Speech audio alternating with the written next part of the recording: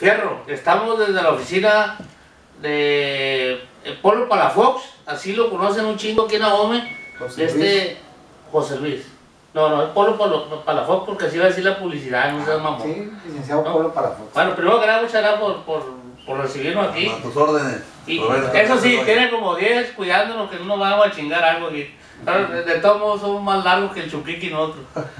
Bueno, estamos también en Periscope ahí, saludos a toda la raza de Ahome que nos está viendo en vivo ahorita en, en- línea.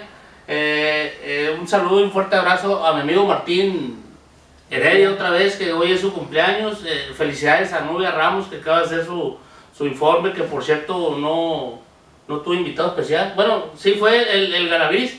Y ese sí, me, ese sí me escondí hasta el reloj porque decía ratero el hijo de la que no ¿Quién chingas". sabe si era invitado especial, no? No, no, ese cabrón le aplaudió más al venado que a él. Ese sí era invitado especial, el presidente de Choice. Bueno, ¿qué nos puede decir de Ahome? Vamos a hablar de varios temas, ¿no? Y no sé si preguntar algo de lo que pasó ayer aquí en, en Ahome.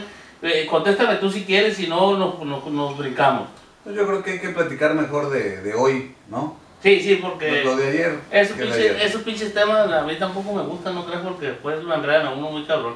¿Qué, eh, ¿qué anda buscando Polo por la Fox ahorita? Bueno, muchas gracias, este, Goyo, por, por estar aquí en esta oficina que es de ustedes. Gracias, Roberto.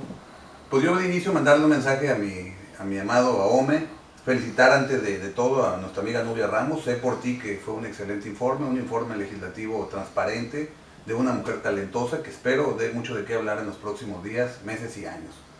Pues yo quiero decirles este, que Ahome es un lugar este, paradisiaco, extraordinario, lleno de bondades, lleno de potencialidades que deben de aprovecharse con una, con una gente siempre con una idea clara de que hay que avanzar, de que hay que ir en unidad. Y Polo Palafox quiere, ¿qué quiere de Ome? Pues quiere que Ome transite bajo las reglas de una ciudad moderna, con visión de futuro. Y yo seguiré siempre, como tú lo sabes, pendiente de los temas sociales, de los temas políticos, de los temas económicos, de los jóvenes, de las mujeres. Soy un apasionado de los temas sociales, güey. Eh, Ahome en especial, siempre lo he dicho yo, es un pinche desmadre aquí. Eh, si, soy malovista, aquí yo, yo me tocó trabajar un buen tiempo y me salía, yo soy tío de Maloba, yo soy pariente de Maloba y la chingada. Ahora todos son parientes de Gerardo y algunos son parientes del Arturito Duarte, que ya usa bergamota, por cierto, dicen para que le salga el cabello. Sí, Tan ya sé cabrón. un poquito más de... No, pero ¿cómo le vas a hacer tú para, para poder transitar en la política con, todo esa, con todos esos actores ahorita? Todo, todo quieren llevarse, hasta el Chapo dice que le trajeron a uno. Sí, fíjate, Goyo, que la verdad es un tema interesante. Mira, eh, el hecho de vivir en la tierra del gobernador, del secretario general de gobierno, pues es este es difícil en términos políticos, pero a vez también es una gran oportunidad. Esto quiere decir que yo, yo reconozco que tengo una relación con ellos muy sana, relación política con ellos y con todos los actores en general es de mucho respeto, pero yo este, he venido forjando siempre una carrera política, una carrera social, independientemente de Mario López, independientemente del secretario, yo sigo trabajando con las gentes, sigo trabajando con el pueblo, sigo trabajando con los estudiantes, estoy pendiente del deporte, soy deportista, soy futbolista, soy tenista, y finalmente, este, si bien es cierto lo que tú dices, que a veces se pueda pensar que ellos son los únicos que se manifiestan políticamente, no, no es así.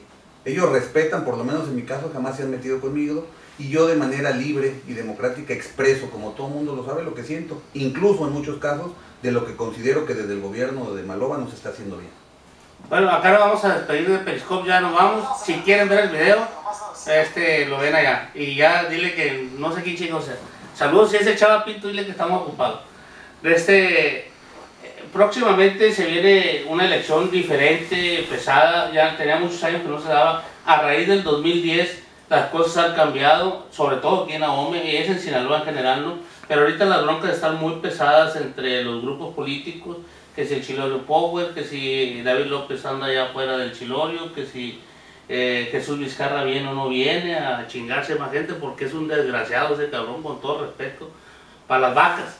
Este, que si Aaron Irizar, que si la diva por equidad, la alta y delgadita, ¿con quién se la juega Paul para vos? Mira, yo quiero decirte, Goyo, que, que yo lo he dicho y debo sostenerme porque soy un hombre de convicciones, en que todos y cada uno de esos candidatos tienen mucho que aportarle a Sinaloa. Todos han participado activamente en sus municipios, en sus, en sus zonas geográficas, unos son senadores, otros diputados, otros están en el gobierno del Estado. Yo a lo que le apostaría como un joven que me gusta decir las cosas como son es que tengan la racionalidad, la capacidad y la madurez de ponerse de acuerdo. ¿Qué tan difícil es en un mundo de pluralidad política, que es lo que distingue a mi partido, que es el PRI del cual soy orgulloso, orgullosamente militante? Eso. Yo quisiera que se pusieran de acuerdo, que tomaran decisiones conjuntas y que del reparto político del Estado se repartiera también de manera equitativa. Eso permite de alguna manera mantener a los grupos vivos en participación política democrática en igualdad de condiciones. Lo que, lo que también es cierto, y hay que decirlo, es que de todos estos grandes candidatos, unos tienen más posibilidades que otras.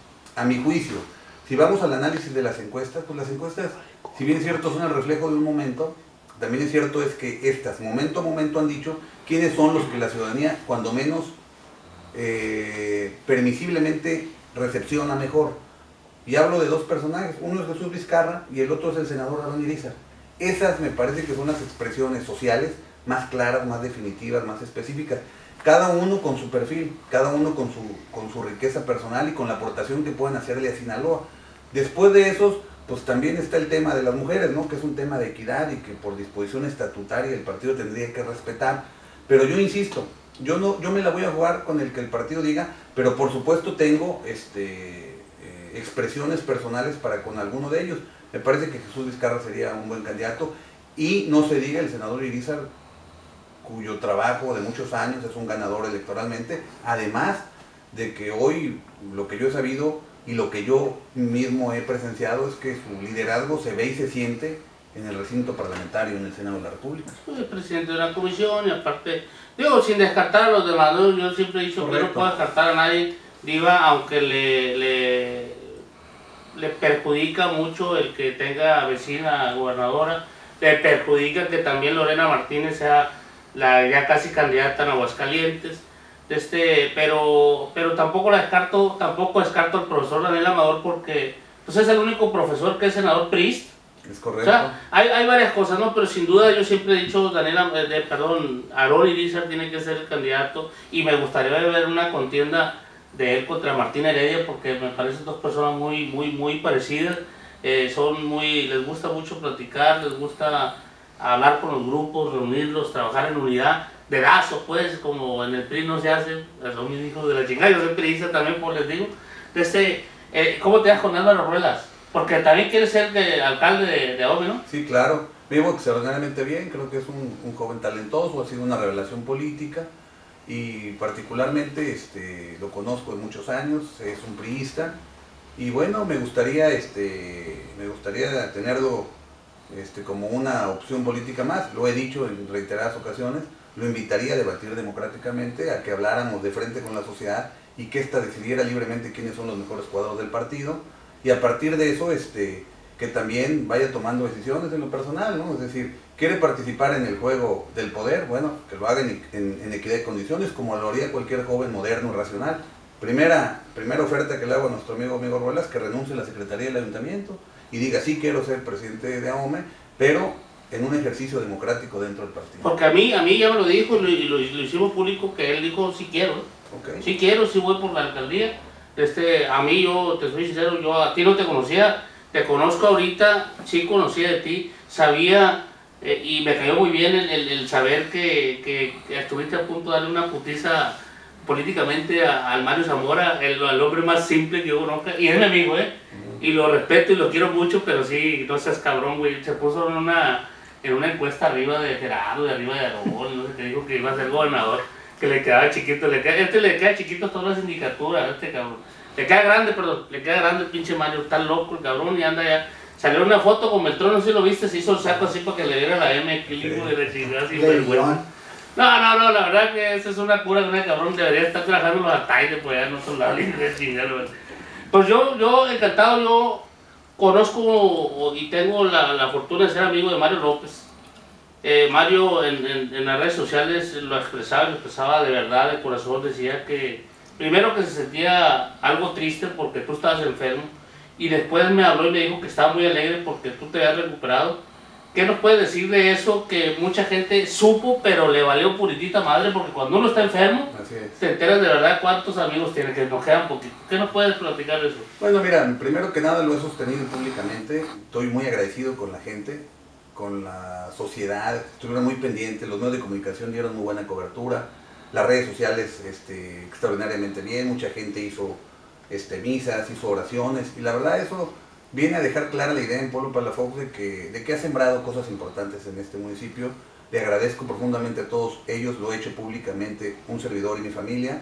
Le agradezco profundamente a Dios la posibilidad que me da de seguir vivo y de seguir participando en cosas fundamentales. El estar siempre cerca de las cosas, de los acontecimientos políticos, sociales, Goyo, Roberto, de la gente, el de tener ese intercambio permanente nos enriquece como seres humanos.